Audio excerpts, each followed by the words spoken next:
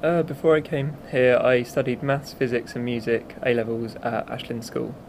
I chose Brookes because I really liked the look of the course online, and when I came to the open day, uh, I really liked the area that it was in, and I found the staff really uh, helpful and nice.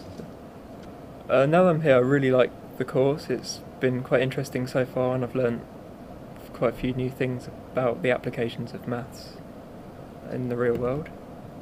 From what I've studied so far, I've really liked uh, some of the modules I've done. I've done introductory maths, which is basically just A level recap, but um, my algebra and calculus module I found quite interesting, and there's lots of new concepts in that which I've learnt.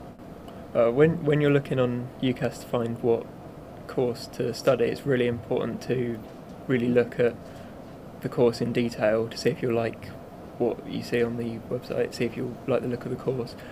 When I when I was looking on the Oxford Brookes website about the maths courses that are on offer here, I found the website really helpful and the things it listed were what I really needed to know.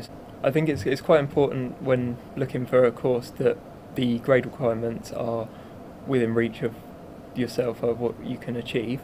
Um, although they are quite flexible. My course requirements were BBB, but I ended up getting A star BC, and the A star was in maths, which really helped me get onto the course. On the Brookes website, there was a lot of um, information about the course listed. It said all the different modules and um, what the course will involve, so that you can really get a feel of what the types of things are. Say you like stats more than core maths, you can look at what stats modules are on offer and compare them to other uni websites.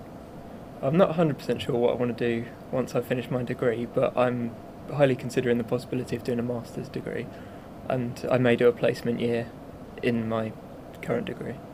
Yeah, the living here on Wheatley has been really good for me uh, because it's right next to all the facilities and the lectures, so it's really easy to just roll out of bed five minutes before a lecture and then get there straight away.